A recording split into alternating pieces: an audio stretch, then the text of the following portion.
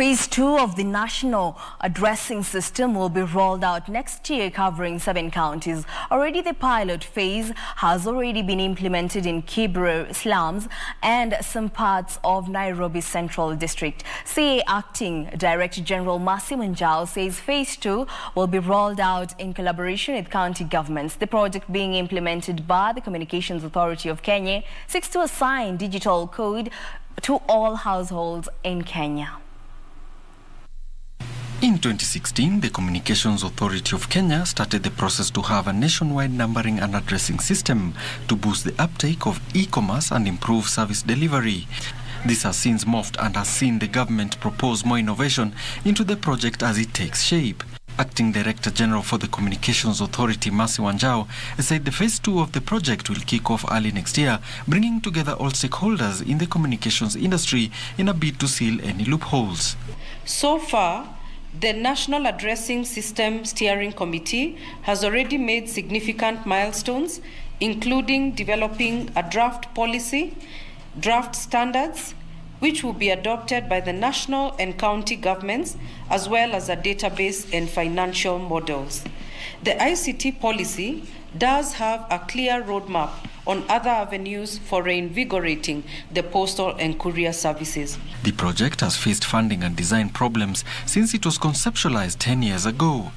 However, in 2018, the government promised to have the project implemented by the year 2023.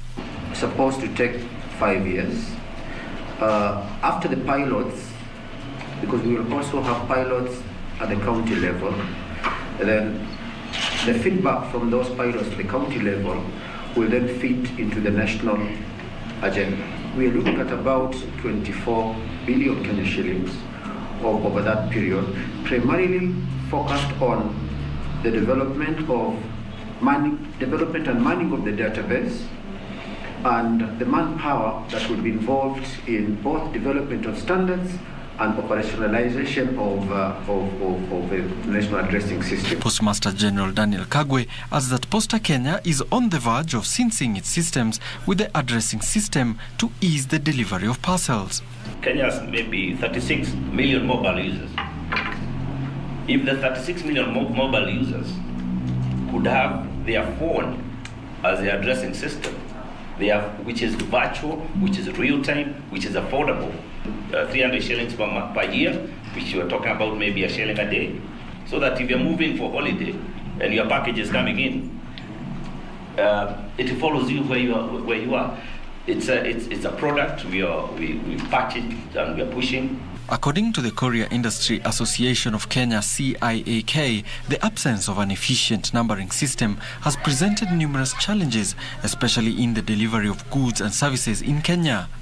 The two spoke during the celebrations to mark the World Post Day. The postal services in the country is facing a bleak future owing to the drop in mailing services and the emergence of new innovation. This year's theme was The Post is More Than Mail. Alanaoko, Channel one Business.